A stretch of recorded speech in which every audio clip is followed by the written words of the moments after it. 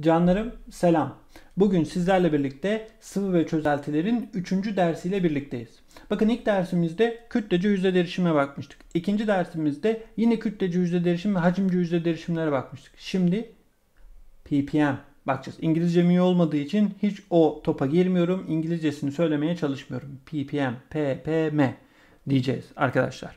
Bu arada bu dersin pdf'leri ve diğer bütün derslerin pdf'leri açıklamalarda var. Diğer bütün derslerin derken sıvı ve çözeltilerle alakalı. İndir pdf'den benle birlikte eş zamanlı bir şekilde takip et diyorum. Tamam mı? Eğer öyle takip edersen öğrenmen senin için daha kolay olacaktır. AYT'de bununla ilgili soruyu kaçırmazsın. 11. sınıfsansa bu ünite senin için ileriye yatırım olur. Dedim ve dersimize geçtim. Şimdi bu arada ppm e, nerede kullanılır milyonda birlik kısımlar? Bazen arkadaşlar e, çözeltilerde böyle ufacık bir şey olur ve ciddi anlamda senin için bu zararlıdır. Kurşun, civa, ağır metaller ya da başka başka şeyler senin için ciddi anlamda zarar verir. Tamam mı? Bu yüzden çok az miktarını bile biz test etmek isteriz ve bunu anlamlı bir şekilde ifade etmek isteriz değil mi? Yoksa hani böyle su içiyorsun ya suyun yanında yazıyor suyun sertliği budur falan filan diye. İşte o çok küçük değerleri ifade ediyor. İşte bu küçük değerleri ifade etmek için bizim hangi birimi kullanmamız lazım? ppm'i kullanmamız lazım. Milyonda bakın milyonda yani böyle yüzde binde iki binde falan değil. Milyondaki kısmından bahsedeceğiz. Şimdi bu milyondaki kısmından bahsederken şunu özellikle dikkat etmenizi istiyorum. Çözeltimizde 10 üzeri 6 gram aldın. Aldığım bu 10 üzeri 6 gramın şu tabletimizi bir uyandıralım. Bir tabletimizi uyandıralım. Sağ olsun uyumuş tabletimiz. Değil mi? Aynen. 16 10 üzeri 6 gram suda yani elimizde 1 milyon gram ne var? Su var. Bunun içerisinde çözünen maddenin gram değerine bu arada uyandı tabletimizde 1 milyon gram suda çözülmüş olan gram değerini. E hocam şöyle mi yazacağız yani? Elimizde hemen alt kısma geldim. 1, 2, 3, 4, 5, 6, yetmedi 6 tane sıfır attık. Bu kadar gram çözelti aldık. Hocam su alsak olur mu? Al hiç sıkıntı değil. Bunun içerisinde örneğin 4 gram ne çözülmüş olsun? Kurşun. E bu kadar gramın içerisinde 4 gram çözündüyse çözeltimiz 4 ppm olur. E hocam böyle değil de farklı bir şekilde ifade etsek mesela 1000 gram suyun içerisindeki çözülen madde miktarına baksak. Bu durumda da grama değil bir 10 kat daha küçük olan miligrama bakarsın. E 1000 gram suda çözülen maddenin miligram değeri de sana yine milyonda birlik kısmı verir. ppm verir. Onun için de hemen şöyle bir şey yazalım alt kısma. Mesela bu sefer elime 10 üzeri 6 değil de 1000 gram çözelti aldım. 1000 gram çözeltinin içerisinde ne kadar madde çözünsün? 4 miligram. Yine bu çözelti senin için ne olur? 4 ppm olur. Çünkü ben hem çözeltimi 1000 kat azalttım hem çözünen maddemin miktarını 1000 kat azalttım. E ikisini de 1000 kat azalttıysam benim ppm değerinde herhangi bir değişiklik olmaz. E hocam ben bunu formülle yapayım. Formülle yaparsam benim için daha kolay. Evet formülle yap ama şuna muhakkak dikkat et diyorum. Eğer formülde çözünen maddeyi ve çözeltiyi pay ve paydaya yazacaksan bunların miktarları yani birimleri aynı olsun. Yukarıya da gram yaz, aşağıya da gram yaz. Yukarıya da litre yaz, aşağıya da litre yaz. Yani hep aynı değeri yaz. Hep gram yaz, hep miligram yaz gibi aynı değerleri yazarsan senin için hiçbir sıkıntı olmaz. Ama burada ne yazarsan doğru olur? Gram yazarsan doğru olur. Diyorum sorulara geçiyorum. Bir içme suyunun 5 kilogramında kalsiyum iyonlarının değeri 5 ppm'miş. Buna göre kaç miligram kalsiyum çözülmüş? Dur diyor bize. Şimdi 5 ppm'ye sevgili arkadaşım. Bu arada bir önceki soruda kilogramın işte 10 üzeri 3 gram hatta açıklamada 1 gramında 1000 miligram olduğunu ifade etmiştim. Zaten sen onu pdf'de gördün. 5 ppm gördüğünde direkt şunu söylüyorsun. Hocam ben elime 1000 gram aldığımda yani 1000 gramlık bir çözelti aldığımda 5 ppm olduğu için bunun içerisinde sadece ve sadece 5 miligram kalsiyum çözünmüştür. E hocam zaten buradaki e, 1000 gram diye ifade ettiğimiz şey bizim için 1 kilograma karşılık geliyordu. E benim elimde 5 kilogramlık bir çözelti varsa çözülen maddenin miligram değerini rahatlıkla bulabiliriz deriz. O çizgiyi bir düzeltelim ya değil mi? O çizgi öyle olmadı. Hemen hızlandırmak için hızlıca çektik ama 25 miligram kalsiyum olur. Değil mi? Oran orantıyla rahatlıkla yaptık biz burayı. Oran orantıyı kullan. Tamam. Oran orantı senin cevabını çıkartacak. Burayı unutma. Dedim ve devam ediyorum. 500 gramlık bir maden suyunda 4 çarpı 10 üzeri eksi 3 miligram magnezyum varmış. O zaman hemen diyelim. 500 gram maden suyunu aldık. Yani 500 gramlık elimizde bir çözelti var.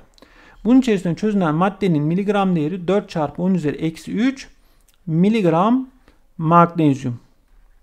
M'yi büyük yapınca miligramdan oldu magnezyum iyonlarına dönüş oldu.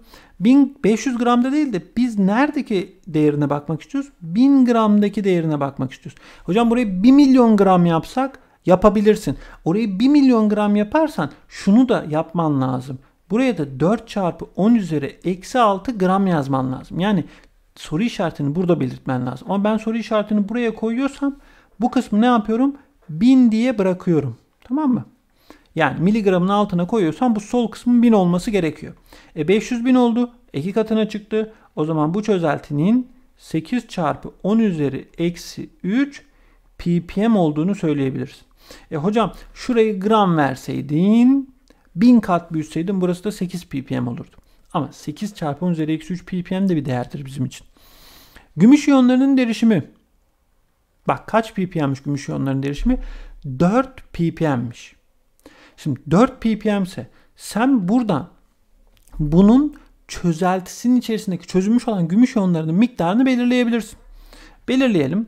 Hemen diyorum ki hocam 1000 değil de gel bu sefer 1 milyon alalım. 1 milyon gram çözelti aldım. Yani 6 sıfır attım. Hocam bunun içerisinde o zaman 4 gram gümüş vardır dersin. Bak 6 sıfır attığımda 4'ün yanına gram koydum. Elinde 250 kilogram var. Elinde 250 kilogram var. Elinde 250 kilo, kilogram varsa bu nedir? Kaç gramdır?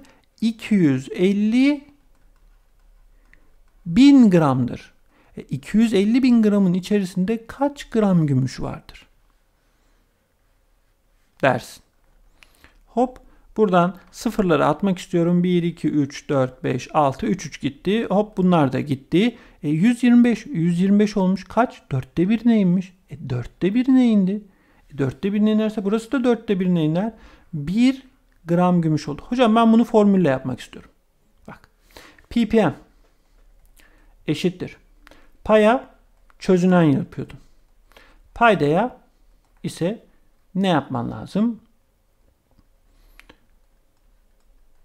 Çözelti yazman gerekiyor. Bu arada çarpı 10 üzeri 6 yapmış mıydık? Onu hatırlayamadım. Bak şuraya çarpı 10 üzeri 6 yazmayı unutmuşum.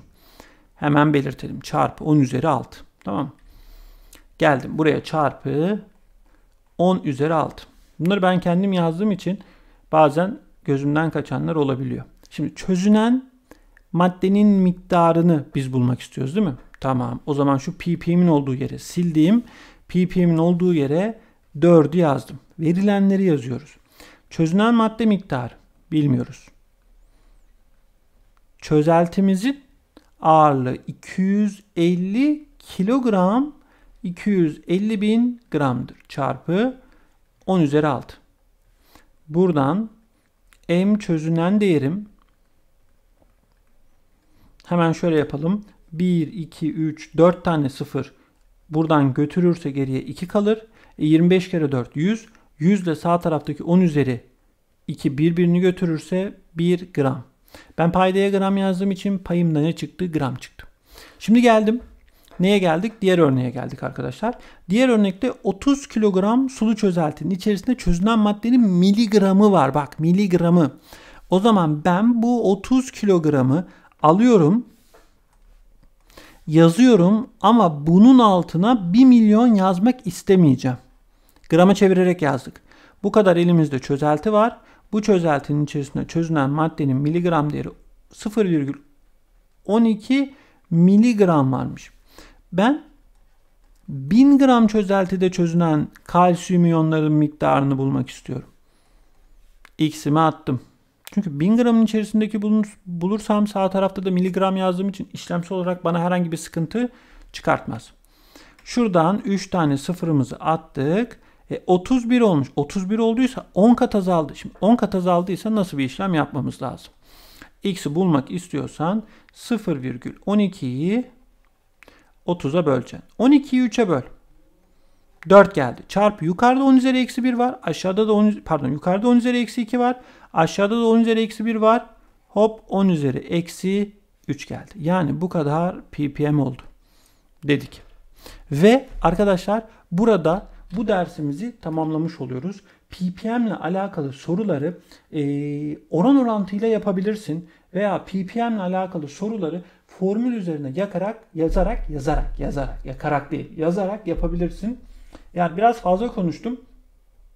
O yüzden e, biraz konuşurken e, zorlanıyorum ama ppm e, bu, bu 10 üzeri 6 bu arada başka eski bir kaynaktan çalışıyorsan bunun milyarlık kısmını da anlatıyor ama milyarlık kısmı artık bizim müfredatımızda yok. Bunu kesinlikle unutma diyorum ve bir sonraki derste görüşmek dileğiyle ki bir sonraki ders artık böyle çözeltinin laboratuvarın baba olduğu kısma geleceğiz. Molariteye geleceğiz. Unutma.